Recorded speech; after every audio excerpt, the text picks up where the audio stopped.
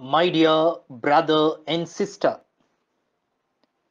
In the name of infant Jesus, I greet you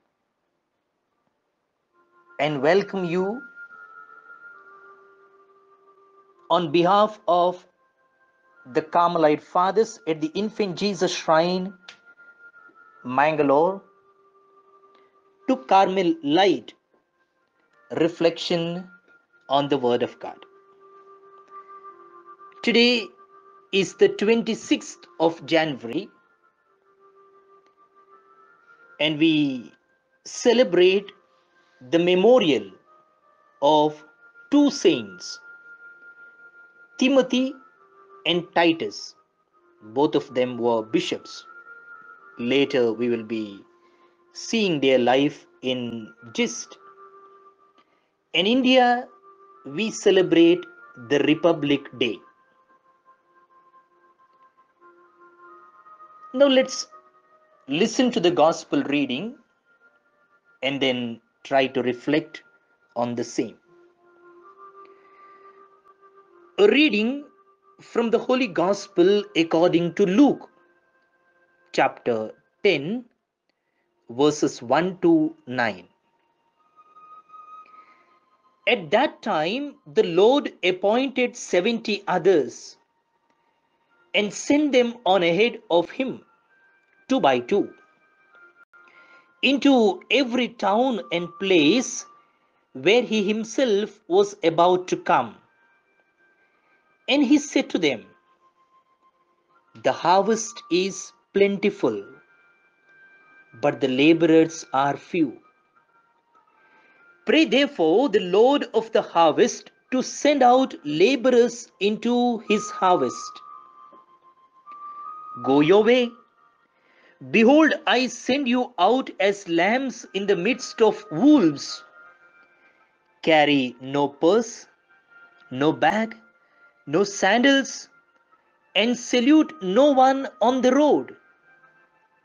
Whatever house you enter, first say, Peace be to this house. And if a son of peace is there, your peace shall rest upon him. But if not, it shall return to you. And remain in the same house, eating and drinking what they provide, for the laborer deserves his wages. Do not go from house to house. Whenever you enter a town and receive you, eat what is set before you. Heal the sick in it and say to them, The kingdom of God has come near to you.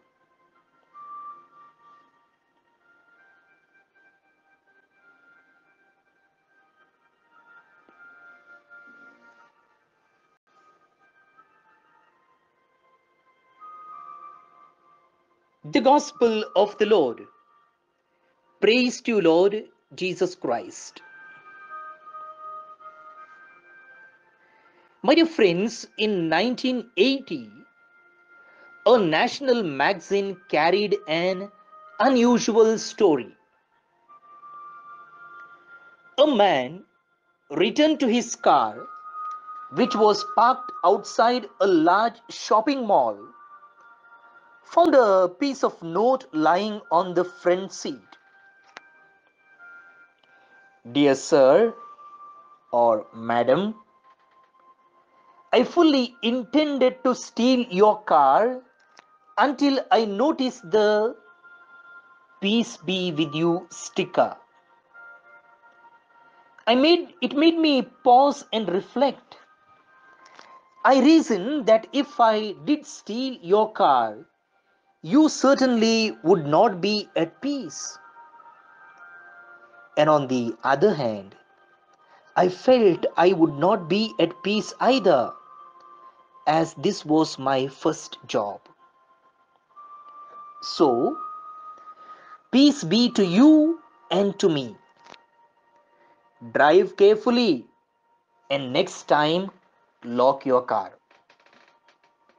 The note was signed a would be car thief. My dear friends, this unusual story illustrates the rather unusual instruction Jesus gave to his disciples in today's gospel. Into whatever house you enter, first say, Peace to this household. If a peaceful person lives there, your peace rests on him. But if not, it will return to you. Applying that to our story, we see that the peace be to you sticker extended the peace of Christ to the would be thief. But friends, when the Bible uses the word peace, it uses it in three different senses. What are they? First, it uses it in a military sense. It is used in a military sense to indicate an absence of war between nations. Thus, we say the nations are at peace. Second, it used in a personal sense to indicate a feeling of personal well being. That's why we say we are at peace with ourselves. And the third, it is used the word peace in a religious sense. The word peace is used in a religious sense to indicate a right relationship between God and ourselves. Thus, we say we are at peace with God. This is what Jesus mean, meant when he said, Peace I live with you, my peace I give to you. The priest recalls these words in each celebration of Mass. It is this peace, my dear friends, that Jesus instructs us to carry into our world today.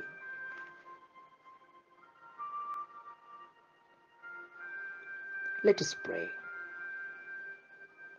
Lord, make me a channel of your peace. Amen. My friends, in the English Bible diary that we printed in aid to the children of the blind parents' education, we have Alicia Lobo from Karkal, Alden D'Souza from Dubai, and in the Konkani diary, Celine Santumayer from Chikmagalur, Calvin Joe D'Souza from Bantwal celebrating their birthday. I wish them a happy birthday on behalf of you, and we all pray for their intentions. Also, today, Ronald and Noreen Mendonça from Mumbai are celebrating their wedding anniversary.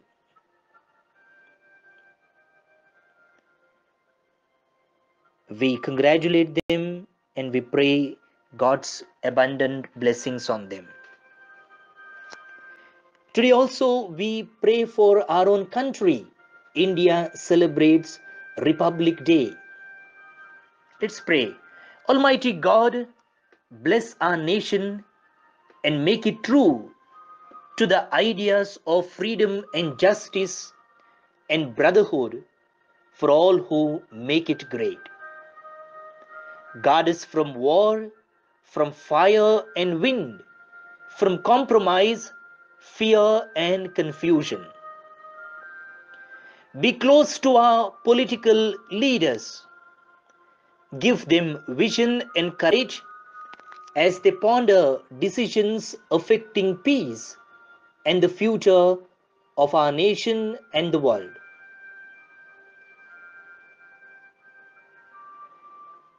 Make us more deeply aware of our heritage, realizing not only our rights but also our duties and responsibilities as citizens. Make this nation and all its people know clearly your will, that they may fulfill the destiny ordained for us in the salvation of the nations and the restoring of all things in Christ. Amen. My dear friends, as I told you today, we celebrate the memorial of Saints Timothy and Titus. Let's look at their life in brief. The feast of these two companions of Saint Paul the Apostle is now assigned to January 26th. But previously, in the 12th century, the feast of Saint Timothy was celebrated on January 10, 24th, the vigil of the feast of the conversion of Saint Paul. The prayer formulas, which are now common to both saints, were formerly proper to the feast of Saint Titus, celebrated on February 6th, and were introduced into the Roman calendar in 1854. So, just we are seeing how these two feasts were separate and now they are made into one feast. Let's look at Timothy now. Timothy, favorite disciple of St. Paul, was born of a Greek father and a Jewish mother who eventually converted to Christianity. St. Paul states that from his infancy, Timothy was educated in the scriptures by his mother, Eunice, and his grandmother Lois.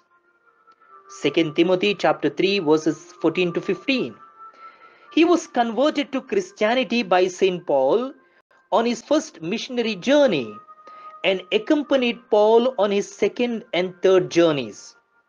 Highly recommended by the Christian community in Lystra. From the Acts of the Apostles, especially chapter 16 to 20, and from references in the first letter of Paul to the Corinthians, we learn that Timothy was sent by Paul to Macedonia, Thessalonica, and Corinth. On two occasions, when Paul was imprisoned, Timothy was near to give him support.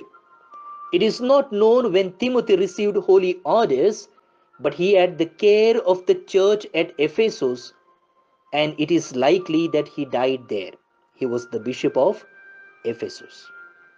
That's about Timothy. Now let's look at Titus. Titus came from a pagan family and he also converted to Christianity during Paul's first missionary journey.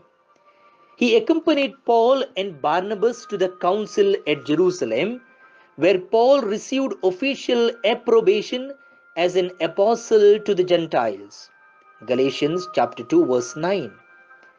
In his second letter to the Corinthians, Paul expresses his great trust in Titus as an intermediary to establish peace between Paul and the church of Corinth. Later, he assigned Titus as head of the church in Crete. We read it in Titus verse chapter 1 verse 4 to 5 where he died at an advanced age. Title uh, Saint Titus is specially venerated in Croatia. So, this is all for today, my dear friends. I pray for God's blessings on you. May Almighty God bless you, the Father and the Son and the Holy Spirit. Amen. Have a wonderful day. It's a holiday in India. And see you tomorrow. God bless you once again.